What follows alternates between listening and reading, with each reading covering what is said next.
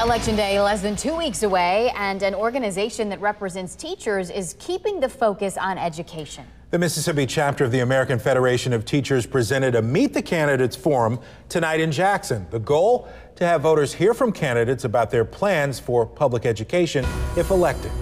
A gathering of candidates seeking election for the first time, as well as another term, speaking to a group of voters looking to hear something significant on what they'll do to improve educational outcomes for children and families. The Meet the Candidates Forum was sponsored by the American Federation of Teachers, the Mississippi chapter's final gathering of candidates ahead of Election Day. I want them to fight for education. I want them to stand firm. I want them to persuade the people on the other side of the aisle that if you don't fund education, everybody in this state depends on quality work. Geraldine Bender believes the next generation of Mississippi's workforce won't be able to be successful without more focus and investment from those who would control purse strings as well as policy. Quality nurses, quality doctors, quality lawyers, all of those things come from education. We put our children in a situation where it is a perpetuation of schoolhouse to jailhouse. Our over reliance on mass incarceration is a problem. To me,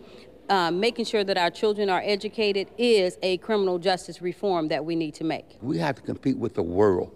It's a world economy now, and we've got to be prepared for that. With our children, they are our future. Parents should understand it's not just the teacher's responsibility, it's the community's responsibility, and we have to do that collectively. Organizers committed to better schools and more teacher support in Mississippi, but they're stressing that no improvements can happen without the act of voting. Being able to walk the street get a job, buy a house, medicine, all of those things comes from an elected person.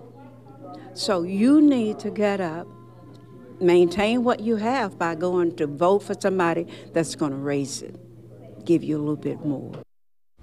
And don't forget, Election Day is November 5th, just eight days away.